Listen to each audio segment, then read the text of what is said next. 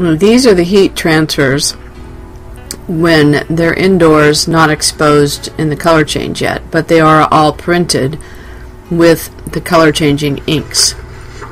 And in, as you can see, some of them have very slight residual because of the colorings, um, but basically when it's pressed onto the t-shirt you see absolutely nothing until it's exposed to the sunlight. These are just a few of the designs we have.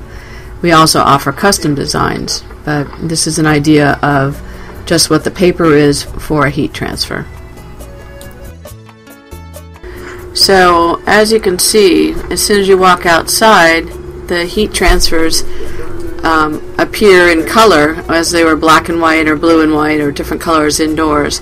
And then when we're ready to, we're going to press them onto a heat press. But the transfer itself is printed already with our color changing inks.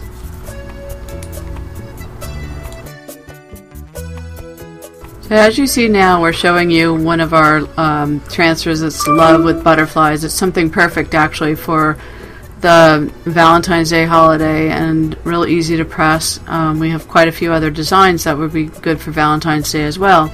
But this one, as you can see, you just put the paper upside down and then you press it and it can go on any color t-shirt. So for this example, we're just showing it to you in white, pink, and blue. As you can see, once you press the t-shirt and press the transfer onto the t-shirt, it's completely colorless. But as you start to walk towards the sunlight, immediately you'll see color change. And this particular design has about five different colors into it, and it's about 4 o'clock in the afternoon, so you can see it's not as sharp as it would be later in the day, in the daylight hours, but you can clearly see the colors and they appear in an instant.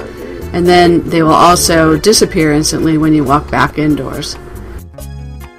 Now we've taken the transfer and brought it back indoors. As you can see, it's slowly starting to fade back to its neutral state. And you can clearly see that there was color change between the top and the bottom. And the bottom one is the actual t-shirt pressed that we went outdoors with. As you can see, Solar Active inks transfer on other colors than just white. You don't have to be limited to white um, for the color change. On this we're showing you the same design that we pressed onto a blue shirt and a pink shirt and the color change is still as vibrant as it would be if it was just on a white shirt. There's the different tricks of the trade to get them for darker colors, and we can assist you that, with that when you purchase our inks. So, for more information on color changing heat press transfers with Solar Active inks, contact us as soon as possible. Solaractive at AOL.com or 818 996 8690.